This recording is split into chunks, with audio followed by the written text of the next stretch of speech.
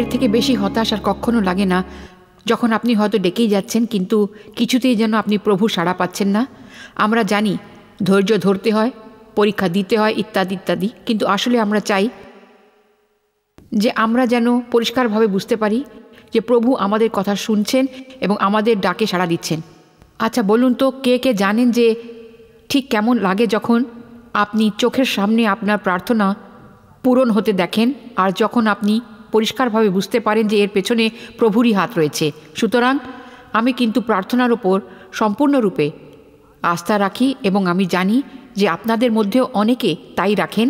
আর এ কারণেই আমি সবসময় সুনিশ্চিত করতে চাই যে আমি যেন আমার দিক থেকে প্রার্থনা এমনভাবে সম্পন্ন করি যাতে আমি অবশ্যই সাড়া পাই এবং আমি যাতে প্রভুর পথে কোনো প্রতিবন্ধকতা না তৈরি করি। প্রার্থনা আমাদের জীবনে প্রভুর সাথে আমাদের চলার পথে অত্যন্ত গুরুত্বপূর্ণ।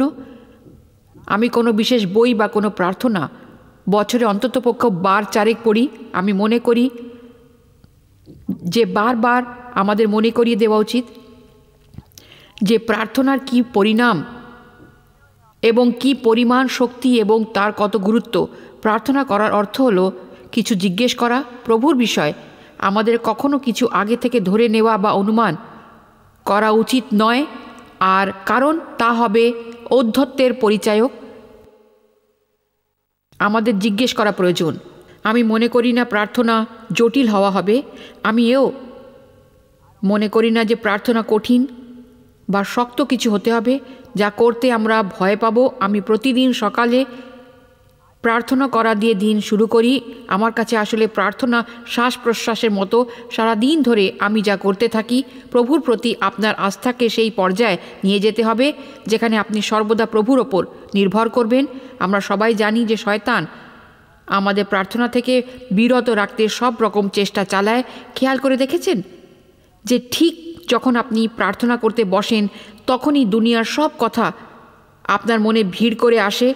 এমনই যে সমস্ত জিনিস ভুলে গেছেন তাও মনে পড়ে আপনার। আর আপনার যদি কোনো কিছু মনে না পড়ে, তাহলে খালি একবার প্রার্থনায় বসে যান, তাহলেই আপনার সব মনে পড়ে যাবে। আমি কি করি? পাশে একটা খাতা নিয়ে বসি। প্রার্থনার সময় কিছু মনে পড়লে ওটা লিখে রাখি, যাতে সাথে না উঠতে চায়। শয়তান আমাদের বিরক্ত করতে পছন্দ করে।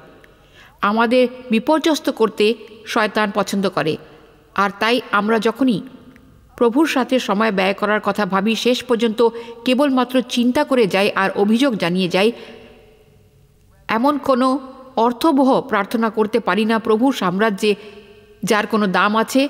সুতরাং আজ যদি আমি প্রার্থনার ওপর কিছু উপদেশ বাণী আলোচনা করি আর আমাদের অন্তরাত্মাকে জাগিয়ে তুলি তাহলে কেমন হয়? আপনারা তো জানেন আমি উদাহরণ তুলে ধরতে পছন্দ করি, কারণ আমি মনে করি তা আমাদের মনে আচর কেটে যায়। আর প্রভু আমার অন্তরে সেই সমস্ত উদাহরণ জুগিয়ে দেন। সুতরাং মোট কথা হলো, আমি যখন প্রার্থনা করব, আমি চাইব আমার প্রার্থনাগুলি সঠিক লক্ষ্যে পৌঁছয়, আর এও চাইব যে প্রভুর উত্তরও যেন সরাসরি এসে পৌঁছয়। কিন্তু এর মাঝে যদি কোনো প্রতিবন্ধকতা থাকে, তাহলে আমি হয়তো বলব কিছু একটা আছে যা আমায় প্রতিহত করছে, আমি পৌঁছতে পারছি না। আজ আমি এখানে আসার পথে অদ্ভুতভাবে আমি কিন্তু চারিদিকে এমন অনেক চিহ্ন দেখেছি যা আমায় কিছু বলতে চেয়েছে। আমি ভালো করে মন দিয়ে দেখিনি, কিন্তু আমি পুরো রাস্তায় দেখতে দেখতে এসেছি। রাস্তা বন্ধ রাস্তা বন্ধ। ব্যাপারটা বেশ খেয়াল করার মতো তাই নয় কি? তাই ভাবলাম, প্রভু হয়তো চাইছেন এই সপ্তাহে আমি আপনাদের সাথে এটা নিয়ে আলোচনা করি। আপনি মোটেই চাইবেন না। যে প্রভুর আশিস আপনার জীবনে ঝরে পড়ার সমস্ত বন্ধ হয়ে আপনি সেই লক্ষ্য পূরণের উদ্দেশ্যে সব কটা প্রবেশ দ্বার খুলে দিতে চান। প্রার্থনার সবচেয়ে বড় ব্যাঘাত হল প্রার্থনা করতে না বসা। প্রার্থনা যদি উচ্চারিত না হয়, তাহলে তা কীভাবে প্রকাশিত হবে? প্রভু তো আর অনুচ্চারিত প্রার্থনার উত্তর দিতে পারেন না। আর এটা তো আমরা সবাই জানি যে প্রার্থনা যখন করি, বলতে চাই না, শুধু এটুকু বলব যে প্রভু জন্যে যা কিছু করেছেন, তার সবটাই কিন্তু কেবলমাত্র আস্থার মাধ্যমেই লাভ করা সম্ভব।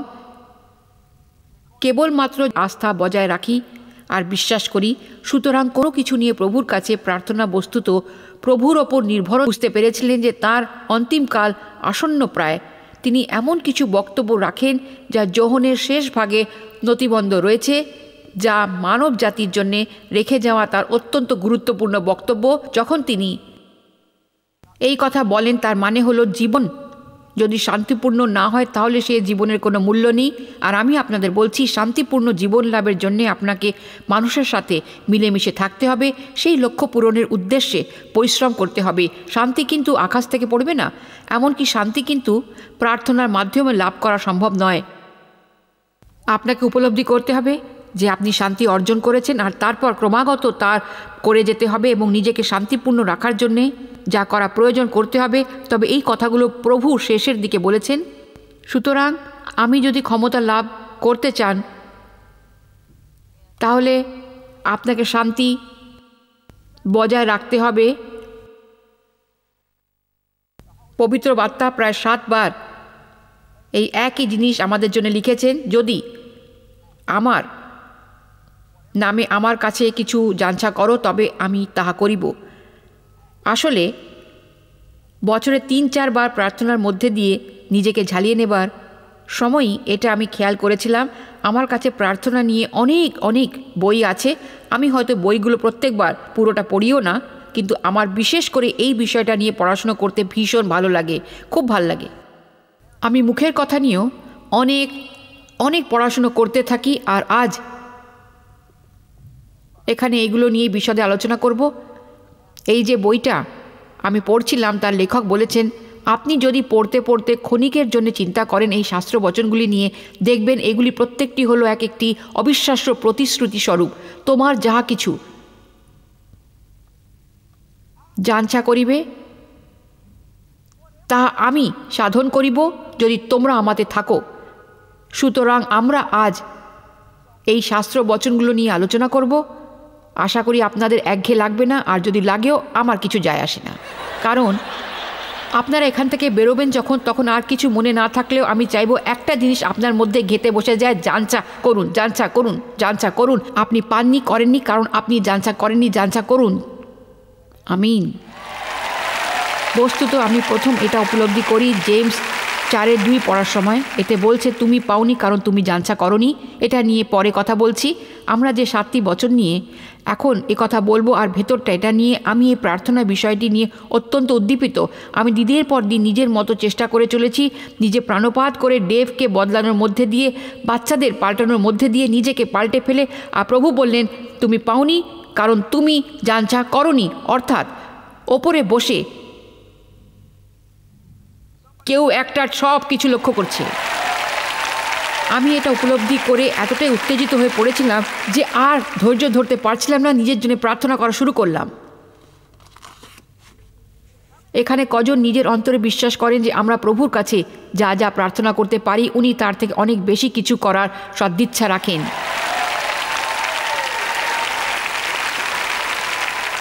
প্রভু যদি করতে চান তাহলে ঠিকই করবেন। না প্রভু হলেন সর্বভৌম, উনি যা চান তাই করতে পারেন, কিন্তু ওনার কাজের পদ্ধতি হলো যে তার কাছে প্রার্থনা করতে হবে, উনি যদি চান, তবে ওনার পক্ষে অসম্ভব কোনো কিছু নয়। উনি এর থেকে বেরিয়ে আসেন, কিন্তু আমার বিশ্বাস এই যে আমি আজ এই সহায়ক গোষ্ঠীতে আছি, তার কারণ কেউ একজন আমি ছেলেবেলায় যে পরিস্থিতির মধ্যে দিয়ে যাচ্ছিলাম, তার থেকে আমায় বার করে নিয়ে আসার জন্যে প্রার্থনা করেছিল। আমি জানি না সে কে আমার এক ঠাকুরদা ছিলেন। একটু মোটাসোটা, উনি সবসময় একটা আরাম কেদারায় বসে থাকতেন আর বাইবেল পড়তেন। আমি ওয়াটসন দাদুর ব্যাপারে খালি এটুকুই মনে পড়ে। উনি খালি দুলতেন আর প্রার্থনা করতেন, দুলতেন আর প্রার্থনা করতেন। প্রভু যে কীভাবে অন্যদের মধ্যে দিয়েও আমাদের রক্ষা করেন ভাবলে অবাক লাগে। সত্যি বলছি, আমি এটা মনে প্রাণে বিশ্বাস করি যে যদি প্রভু কাউকে দিয়ে আমার জন্য প্রার্থনা না করাতেন, তাহলে আমি হয়তো আজ বেঁচেই থাকতাম না, কারণ আমি হলপ করে বলতে পারি যে শয়তান, আমরা যারা প্রভুর বাণী প্রচার করি তাদের ঘৃণা করে। আমি যখন রোজ টিভিতে আসি আর কোটি কোটি লোক আমায় দেখে, আমি জানি আমার জন্য প্রার্থনা করে, যাদের কথা হয়তো আমি জানতেও পারব না শয়তান তাদের অবজ্ঞা করে, কিন্তু প্রার্থনার ক্ষমতা বিস্ময়কর।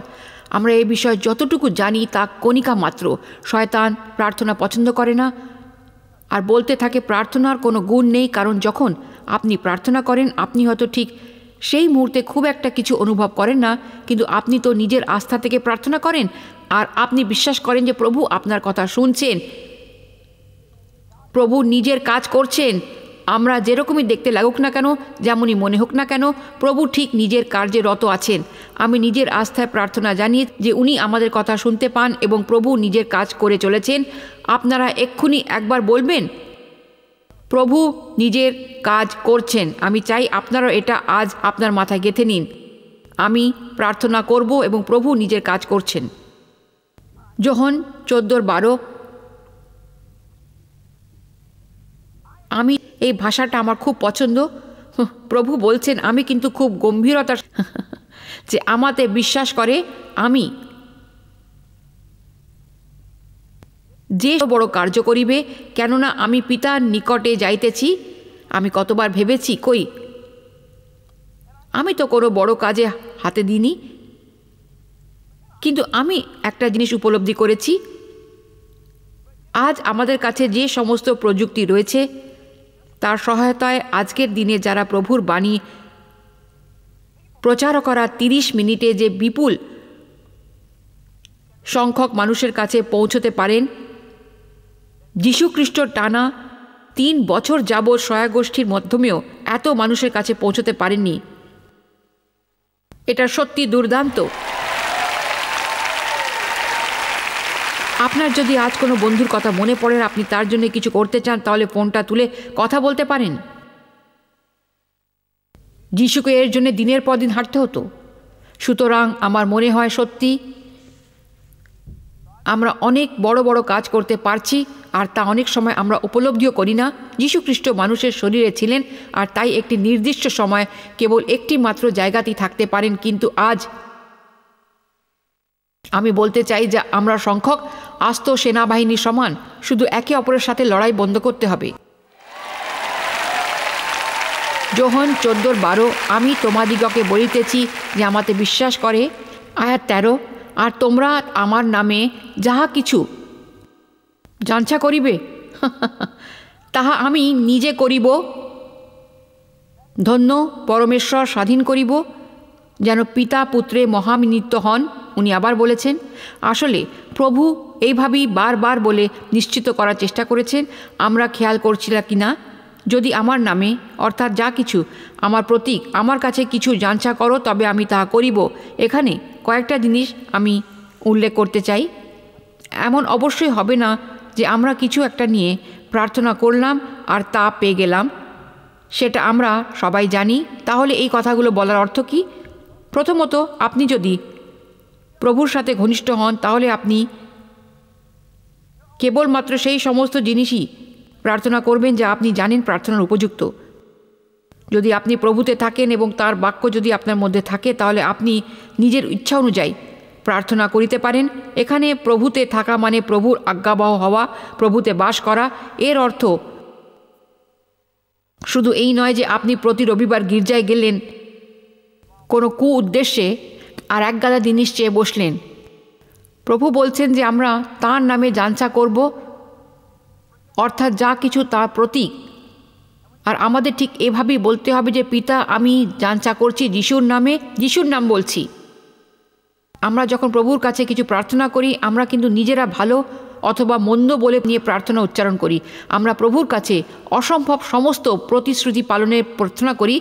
এটা ভালো করে জানা সত্ত্বেও যে আমাদের তার লাভের কোনো অধিকার নেই। আমরা এইভাবে প্রার্থনা করি, কারণ যিশু আমাদের যে জীবন লাভের জন্য নিজের জীবন বলিদান দিয়েছিলেন, এইভাবেই তার মহিমা উদ্দাসিত হবে, আর বাকিরা হবে লবণ, বাকিরা আমাদের মতো জীবন পাবার চেষ্টা করবে। খ্রিশ্চানদের নিরুৎসাহ হবার কোনো কারণ নেই। তাদের নিজেদের দিনের পর দিন টেনে নিয়ে যাওয়ার কোনো দরকার নেই। সব সময় কোনো মতে সব কিছু সম্পূর্ণ করারও দরকার নেই। ভালো করবেন। যদি আরও তিরিশ বছর পর পুনর্বার জন্ম নেওয়ার পরিবর্তে এই থেকেই আপনার প্রার্থনা করবে। শুরু করুন। কখনো সখনো পরামর্শ নেওয়া ভালো, কিন্তু যদি আপনার প্রতি সপ্তাহে প্রয়োজন হয়, প্রতি সপ্তাহে দু তিনবার তাহলে আপনার বিশেষ আশা নেই। তোমরা আমার নামে যাহা কিছু যাঞ্চা করিবে, তাহা আমি স্বাধীন করিব। যোহন পনেরো সাত বলছে, তোমরা যদি আমাতে থাকো, আমার জীবন শক্তির আজ্ঞাবহ হও এবং আমার বাক্য যদি তোমাদিগতে থাকে, তবে আমাদের যাহা ইচ্ছে হয় জানছা করিও। তোমাদের জন্য তাহা করা যাইবে। কি দুর্দান্ত, কিন্তু যদি আপনি আজ্ঞাবহ হন আর প্রভুর কথা আপনার অন্তরে বিরাজমান থাকে, তাহলে কি হয় জানেন? আপনি জাগতিক কার্যকলাপের থেকে অনেক বেশি উদ্বিগ্ন হবেন। যোহন পনেরো ষোলো। তোমরা যে আমাকে মনোনীত করিয়াছ এমন নয়, কিন্তু আমি তোমাদিগকে মনোনীত করিয়াছি। আমি তোমাদিগকে নিযুক্ত করিয়াছি। আমি তোমাদের রোপণ করিয়াছি, যেন তোমরা গিয়া ফলবান হও এবং তোমাদের ফল যেন থাকে, যেন তোমরা আমার নামে পিতার নিকটে যাহা কিছু যাঞ্চা করিবে, তাহা তিনি তোমাদিগকে দেন।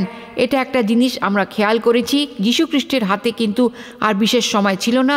আর এই যে সংক্ষিপ্ত সময় উনি বলেছেন যে যাঞ্চা করো যাঞ্চা করো যাঞ্চা করো যাঞ্চা করো যাঞ্চা করো যাঞ্চা করো যাঞ্চা করো। আমি আমার নামে তোমাদের দিচ্ছি। আমার নামের মধ্যেই কর্তৃত্ব বিরাজ আছে। এবার তুমি পিতার কাছে যেতে পারো, কারণ তুমি তার কাছে আমার গুণ সমৃদ্ধি হয়ে নিজেকে উপস্থাপিত করবে। আমাদের আর গিয়ে বলতে হবে না যে, প্রভু, আমি দুটো সঠিক কাজ করেছি, কিন্তু চারটে বেঠিক কাজ করেছি। সুতরাং আমার মনে হয় না আপনার কাছে প্রার্থনা করে কোনো লাভ হবে। আমরা যিশুর নামে যাব। তারই মহিমায় আমরা যাঞ্চা করব যাঞ্চা করব যাঞ্চা করব। জীবনে প্রভু মহৎ কার্য করতে সমর্থ হন। তুমি পাওনি, কারণ তুমি যাঞ্চা করনি। যোহন ষোলো, তেইশ এবং চব্বিশ, আর এটা আমার অত্যন্ত প্রিয়, কারণ আমি এক সময় এক অসুখী খ্রিস্টান ছিলাম, আর আমার অসুখের অন্যতম কারণ ছিল আমি প্রবলভাবে চেষ্টা করে যাচ্ছিলাম, প্রভু যেমনটি চান তেমনটি হতে, কিন্তু কেবলমাত্র নিজের সক্রিয় চেষ্টাকে কাজে লাগালে হবে না। আমি তখনও জানি না যে তুমি পাওনি কারণ তুমি জানছা করনি। আজকেও আমার মধ্যে যদি কিছু এমন ঘটে যে আমি পাল্টাতে চাই, আমি শুধু প্রভুকে বলি, আমায় পাল্টে দিতে, আমি খালি বাণী পড়ি আর প্রভুর কাছে জানছা করি, আমায় পাল্টে দিতে। আমি নিজে নিজেকে পাল্টাবার চেষ্টা করছি, চেষ্টা করে যাচ্ছি, চেষ্টা করে যাচ্ছি, চেষ্টা করে যাচ্ছি। বলি যে, প্রভু, আপনি জানেন, আপনি যখন আমায় গ্রহণ করেছিলেন, গীতসংগীতা একের উনচল্লিশ, প্রভু নিজের হাতে মাতৃগর্ভে আমায় গড়ে তুলেছেন। তিনি আমায় ভাষা দিয়েছেন। তিনি সর্বত্র আমার কাছে আছেন।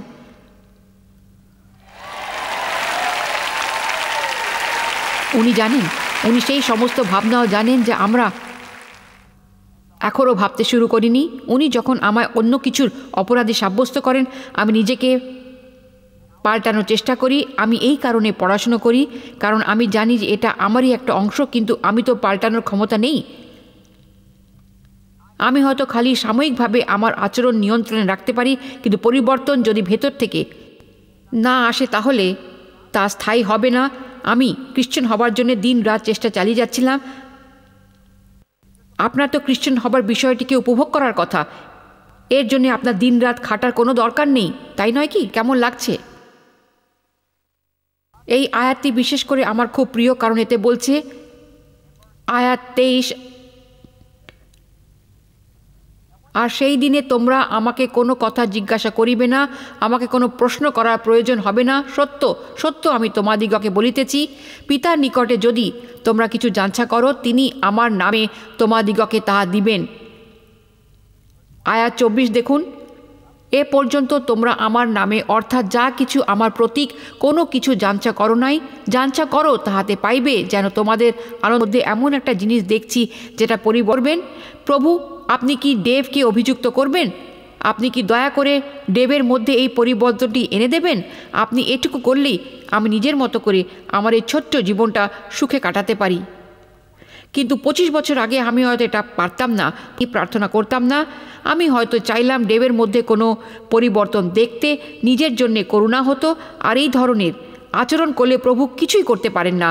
উনি চান আমরা যেন প্রার্থনা করি, তাহলেই উনি নিজের কাজ করতে পারবেন। আর একবার ওনার কাছে প্রার্থনা করা হয়ে গেলে, তারপর আপনাকে এটা বিশ্বাস করতে হবে যে আপনি এই দায়িত্ব ওনাকে সঁপেছেন।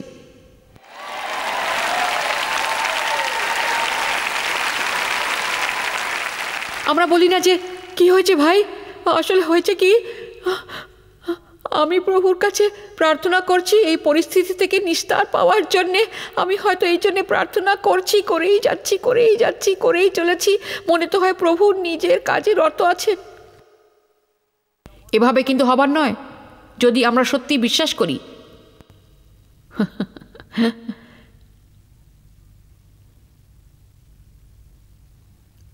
যদি আপনি সত্যি বিশ্বাস করেন, তাহলে সব ভুলে গিয়ে খুশি থাকুন। তা না, আমার যেহেতু একটা সমস্যা রয়েছে, আমার মুখ গোমড়া করে থাকতে হবে। কারণ আমি তোমার খেয়াল রাখব, প্রভু হমেশা বলেছেন, তোমার সমস্ত চিন্তা, সব উদ্বেগ, সব দুশ্চিন্তা, সমস্ত সব কিছু আমায় দিয়ে দাও। আমরা যদি সমস্যা থাকা সত্ত্বেও খুশি থাকি, তাহলে শয়তান আমাদের মনে অপরাধ বোধ জাগানোর চেষ্টা করে এই বিষয়টা নিয়ে ভেবে দেখুন। এই সেই সমস্ত বন্ধু বান্ধব যারা জানেন না তারা কি করছেন তাদের জানানো উচিত। কিন্তু এই অবস্থায় কি করা যায়? এদের কাছ থেকে পরামর্শ নেবার আগে এদের নিজেদের জীবনের হাল দেখুন একবার। যোহন ষোলোর ছাব্বিশ এ নিয়ে সপ্তমবার যোহন চোদ্দ, পনেরো, ষোলো বাইবেলের এই তিনটি অধ্যায়ের মধ্যে যীশুখ্রিস্ট এই নিয়ে সাতবার একই জিনিস নিয়ে বলেছেন, সেই দিন তোমরা আমার নামেই যাঞ্চা করিবে এবং প্রার্থনা করিবে, আর আমি তোমাদিগকে বলিতেছি না যে আমি তোমাদের নিমিত্ত পিতাকে নিবেদন করিব, কারণ তা অপ্রয়োজনীয়। তোমরা আমার নামে যাঞ্চা করিবে, তোমাদের জন্যে তাহা করা যাইবে। সুতরাং প্রার্থনা সাড়া পাবার লক্ষ্যে প্রথম প্রতিবন্ধকতা হলো প্রার্থনা না করা। এখানে এমন কেউ আছেন যিনি আমার অতীতের প্রতিচ্ছবি যে কিনা সব কিছু সব কিছু চেষ্টা করে দেখে আর তারপর বলে, আমার তাহলে প্রার্থনা করা ছাড়া আর কিছু করার নেই। আমার যা যা জানা ছিল আমি সব করে দেখেছি, কিন্তু কাজ করেনি, এখন প্রার্থনা করা ছাড়া আর গতি নেই। মাঝখান থেকে কি হলো? বলা হলো না। শুরুতেই প্রার্থনা করতে পারতে। তাহলে সব দুশ্চিন্তা এ সমস্ত সহ্য করলে? কারণ আমায় ছাড়া তোমার চলবে না। এই টিভির অনুষ্ঠানটি নানা ধরনের মানুষ আজ দেখছেন। আপনারা কেউ কেউ প্রতি সপ্তাহে গির্জায় যান। সেখানে গিয়ে হয়তো প্রার্থনা করেন। হয়তো কোনো বই থেকে কোনো প্রার্থনা পড়েন। কিন্তু আপনাকেই সুনিশ্চিত করতে হবে যে সেই প্রার্থনা যেন আপনার কাছে অর্থবহ হয়। কারণ প্রভু হলেন অন্তরের প্রভু। সুতরাং শুধুমাত্র গির্জায় গিয়েই প্রার্থনা করতে হবে, এমন কোনো কথা নেই, প্রতিদিন সবার আগে। আপনাকে বলতে হবে যে, প্রভু, আজকের দিনটা আমার জীবনে দেবার জন্যে আপনাকে বিশেষ করে ধন্যবাদ জানাচ্ছি, আর আমি জানি যে আপনাকে ছাড়া আমি অসহায়, সুতরাং দয়া করে আমি যা কিছু করি সপেতে আমায় সহায় হন। আমি প্রার্থনা করছি যাতে আমি সক্ষম হই যে এই যানবাহনের ভিড়ে কোনো মাথা গরম না করে ঠিকঠাক গাড়ি চালিয়ে কাজের জায়গায় পৌঁছতে পারি। যেহেতু আমরা জানি যে ওটা আমার দুর্বলতা। আমাদের প্রার্থনা করতে হবে। আমার নিজের জীবনে আমি পরখ করে দেখেছি যে আমি যদি দিনের শুরুটা সঠিক করতে পারি, বাকি দিনটা ভালোভাবে কেটে যায়। আর যদি শুরুটাই বেঠিক হয়, তাহলে বাকি দিনটা আমার সেটাকে শোধরাতেই কেটে যায়। আমি আপনাদের তাই উৎসাহিত করব প্রভুর সাথে সময় ব্যয় করতে। আমি আশা করব এই উপদেশ আপনাকে প্রার্থনা করতে অনুপ্রাণিত করবে। তুমি পাওনি, কারণ তুমি চাওনি। সারা দিনের প্রতিটি কাজে প্রভুকে সঙ্গী করুন। মনে রাখবেন, সবের মূলে রয়েছেন খালি প্রার্থনা করা। জেমস চারের দুয়ে বলছে তোমার নিকট নেই, কারণ তুমি যাঞ্চা করনি। আপনি জানেন না যে জয়েস মায়ের মিনিস্ট্রিজের কাছে আপনি কতটা মূল্যবান। পৃথিবীব্যাপী এই মিনিস্ট্রি গড়ে তোলার জন্য বন্ধু ও অংশীদারদের প্রশংসা করি ও ধন্যবাদ জানাই। একসঙ্গে আমরা ক্ষুধার্তকে খাদ্য দিচ্ছি, দরিদ্রকে বস্ত্র দিচ্ছি আর জাতির কাছে বাণী পৌঁছে দিচ্ছি। আজই আমাদের সঙ্গে যোগাযোগ করুন বা ভিজিট করুন জেএমএম ইন্ডিয়া ডট অর্গে প্রার্থনার অনুরোধ করতে, আমাদের উপাদানগুলো সম্পর্কে জানতে জয়েসের সম্মেলনের দিনলিপি দেখতে আর অংশীদার হতে, কারণ সারা বিশ্বের সঙ্গে প্রভুর ভালোবাসা ভাগ করে নিচ্ছি আমরা।